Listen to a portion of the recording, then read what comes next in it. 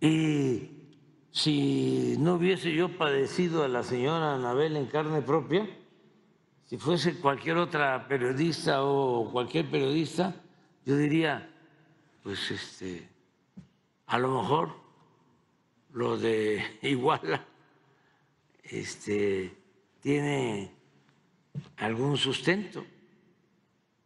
Pero después de lo que me hizo a mí,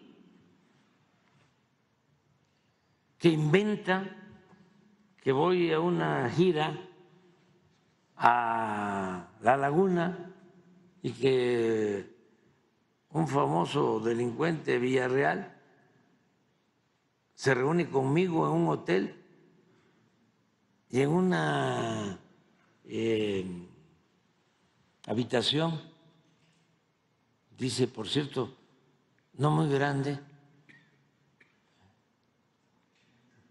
nos saludamos y me entrega una maleta llena de dinero y yo le entrego esa maleta a quien era eh, mi ayudante, el general Audomaro Martínez, que es ahora el de inteligencia.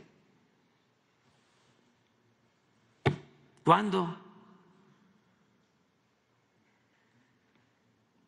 ¿Qué prueba?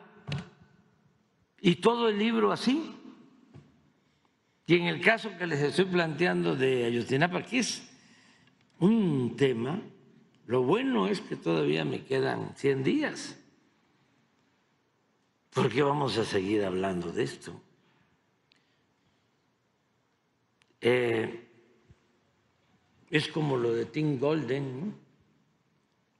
O sea, ni modo que me voy a quedar callado. Presidente, O y sea, sobre... permíteme. Entonces, eh, cuando dice, ¿no? Tengo una fuente que es la que me da toda esta información. Ah, y que luego el capo de capos, este, se enoja y dice, no, si no era para que los mataran y los desaparecieran, era nada más un escarmiento, que estaba enojadísimo.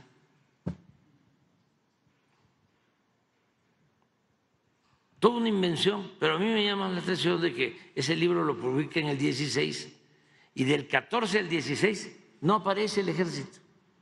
Y a partir del 16 empiezan a hablar del ejército.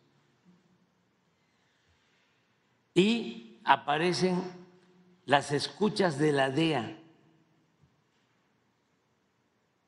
a ese grupo de delincuentes y de ahí vienen acusaciones y todo.